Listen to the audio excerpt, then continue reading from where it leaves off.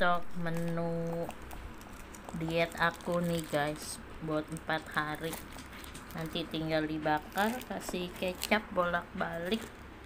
Mantep. Ayam kampung.